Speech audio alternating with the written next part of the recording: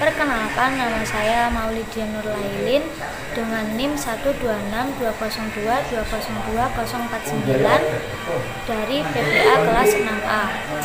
E, pada kesempatan kali ini saya akan menyampaikan sedikit materi yang saya pahami yaitu makalah yang berjudul Tradisi Penyusunan Mujam Arabi yang diampu oleh Ustadz Fatoni.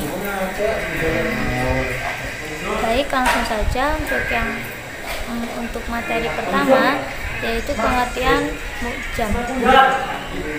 Secara bahasa, mujam merupakan master mim dari kata arjama yukjimu ijaman yang bermakna samar atau tidak jelas. Sedangkan menurut istilah mujam yaitu sebuah kitab yang menghimpun sekumpulan kosakata dari bahasa tertentu yang dilengkapi dengan penjelasan atau penafsiran makna yang disusun secara sistematis berdasarkan urutan huruf hijaiyah maupun disusun secara berdasarkan tema. Untuk materi yang kedua yaitu jenis-jenis uh, mujam Arabi.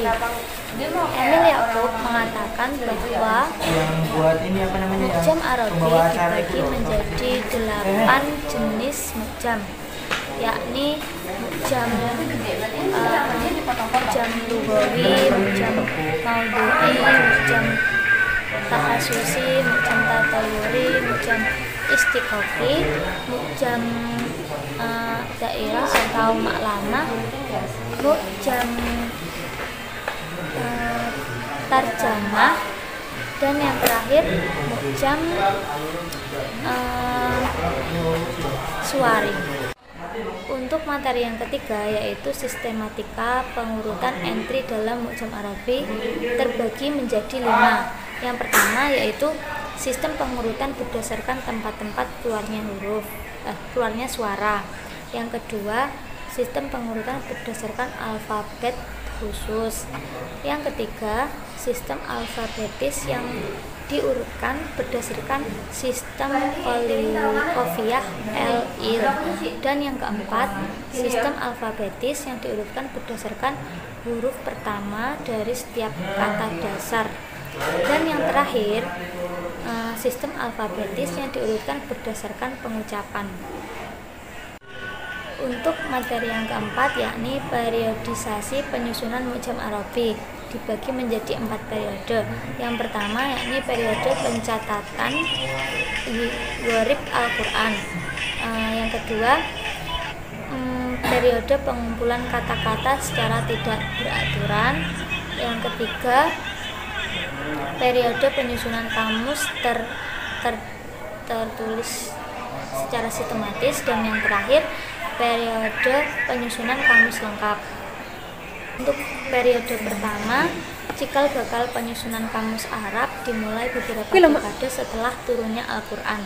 Eh, ketika kaum muslim menghadapi kesulitan memahami beberapa kosakata uh, pada masa Rasul tidak perlu pusing karena e, mereka bisa menanyakan langsung apa yang e, dibingungkan atau e, sesuatu yang sulit langsung kepada Rasulullah.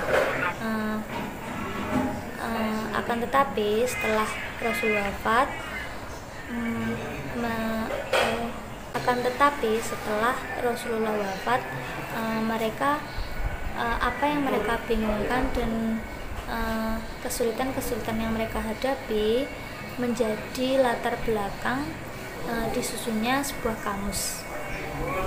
Untuk periode yang kedua yakni periode pengumpulan kata-kata secara tidak beraturan pada akhir abad pertama dan akhir abad uh, kedua Hijriah para linguis Arab mulai me mengumpulkan dan mencatat kata-kata bahasa Arab yang mereka dapatkan dari penduduk Arab. Uh, mereka melakukan penelitian di sana. Mereka mencatat apa yang mereka dengar dari penduduk Arab secara langsung.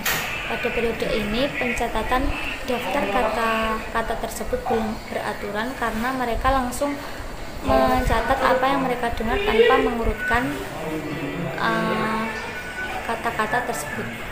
Uh, untuk uh, pada Ya. periode ketiga yakni periode penyusunan Oh, kamus secara sistematis.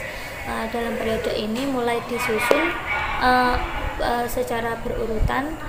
Uh, mereka mengklasifikasikan kata-kata yang berkaitan dengan tema tertentu atau kelompok tertentu. Untuk periode terakhir yakni periode penyusunan kamus lengkap. Eh, munculnya eh, penyusunan kamus lengkap ini yaitu pada abad kedua Hijriah beberapa saat setelah munculnya kamus tematik Kemunculan periode satu dengan periode lainnya bukan berarti menghentikan periode sebelumnya, tetapi semuanya berjalan dengan beriringan.